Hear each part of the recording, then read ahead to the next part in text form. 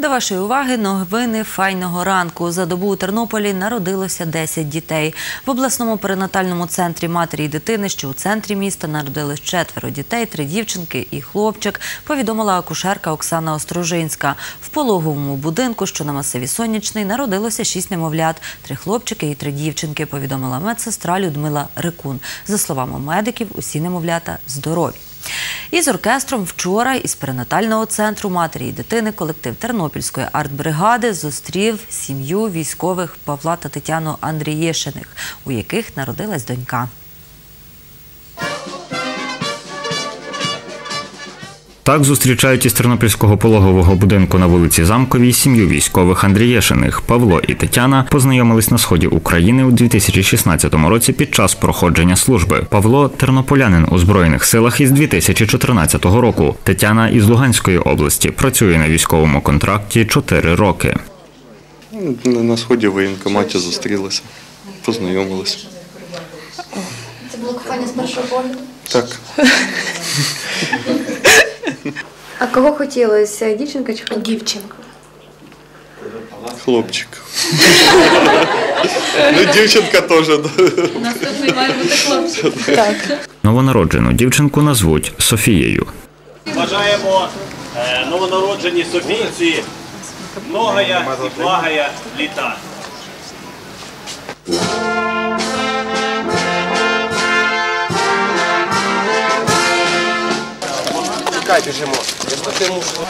Тарас Бурак, Андрій Бодак. Новини.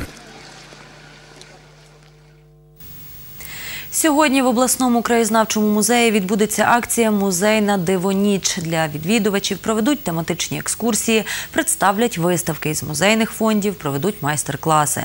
За словами завідувачки відділу музею Наталії Українець, таку акцію проводять уже в четверте.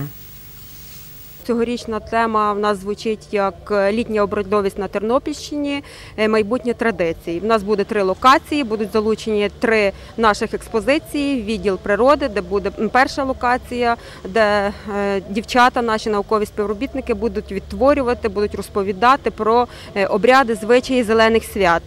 Е, Другий поверх е, це в нас е, відділ стародавньої історії. В нас вже будуть тут розповідатися про свято Івана Купала. Також на третьому поверсі це вже наша остання локація, відділ новітньої історії, де е, буде в нас е, висвічуватися тема свята Спаса, а також е, буде тут майстер-клас проводитися по вінкоплетенню. Акція Музейна дивоніч присвячена Міжнародному дню музеїв. Наталі повідомила Наталія Українець.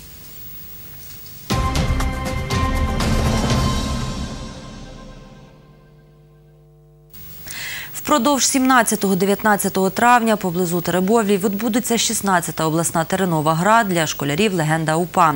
Цього року гра присвячена постаті Степана Бандери, оскільки у, тисячі, у 2019 році є дві пам'ятних дати, пов'язаних з цим іменем, а саме 110 років від дня народження та 60 років від загибелі Степана Бандери.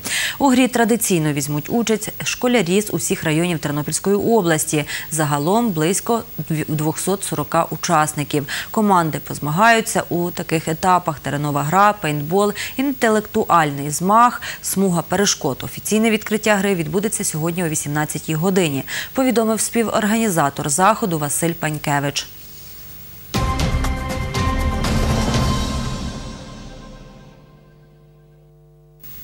Перше місце у змаганнях школа безпеки зайняла команда юних рятувальників з Тернополя, друге команда з Борівського, третє Бучацького районів.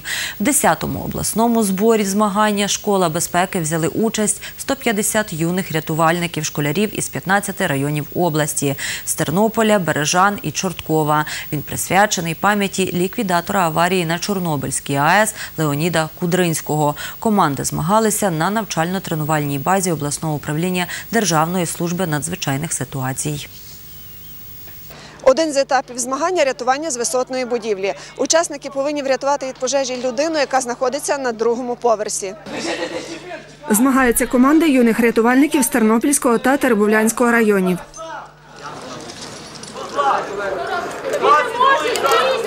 Першими з цим завданням впоралися рятувальники з Тернопільського району. Гарно справились за час е, теж непогано. І саме головне, що без помилок, без штрафів зробили все. Я знаходилась по правій стороні і страхувала, як е, потерпілого, коли знімали.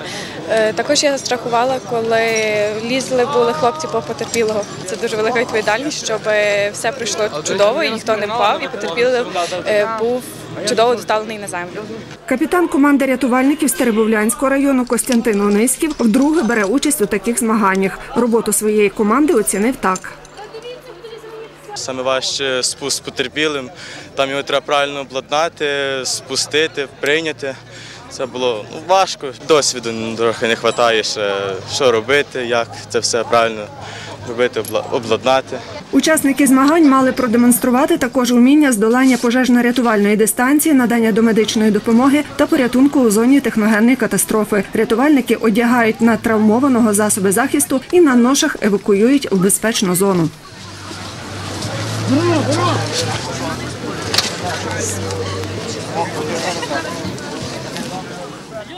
Змагання юних рятувальників школи безпеки проводяться в нашій області вже в 10-й раз.